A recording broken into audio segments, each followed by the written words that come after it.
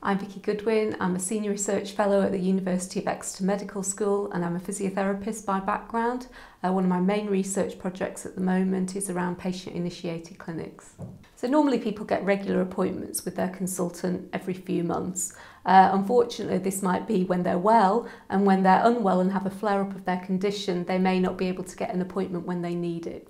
So patient initiated clinics are a different approach to uh, seeing the, consultant. So patients ring up a nurse advice line to start with when they have a flare up, and then the nurse will arrange an appointment either with the specialist or with the nurse specialist uh, within 14 days. Okay, well, uh, you know, as a direct access patient, I can certainly make an appointment with the consultant and we'll get that set up.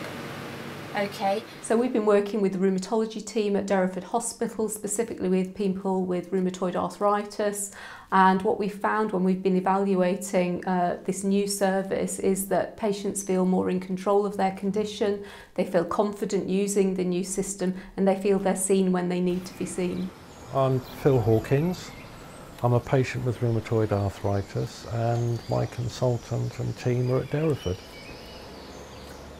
If I have a problem or I'm worried about my condition, I can phone up and a specialist nurse phones me back discusses that issue. It may be managed over the phone. It may be that I need an appointment. Um, the painkillers don't seem to be doing anything. I think I need to see somebody. So I'm seeing the person I need to see when I need to see them, not going up to the hospital to walk into the consultant's room and say, I'm fine, thank you very much. And that is the big difference. It makes you feel more confident. It puts me in control of my disease and its treatment, and that is fantastic. Direct access started here at Derriford with a small number of patients.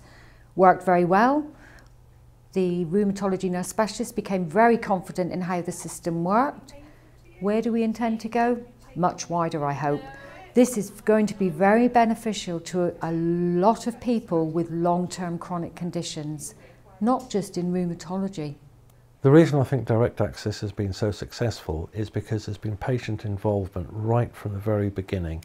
The patients were listened to, what they said was heard, it was incorporated in the plan itself, and it's, a, it's allowed the safeguarding of patients to be paramount within the scheme. Working with PenCLAHRC has been very beneficial with direct access. I've always felt that I've had support, comfort there and evidence base to prove that this is the way forward. So much so that I am willing to support and drive this within the department for other long-term chronic conditions.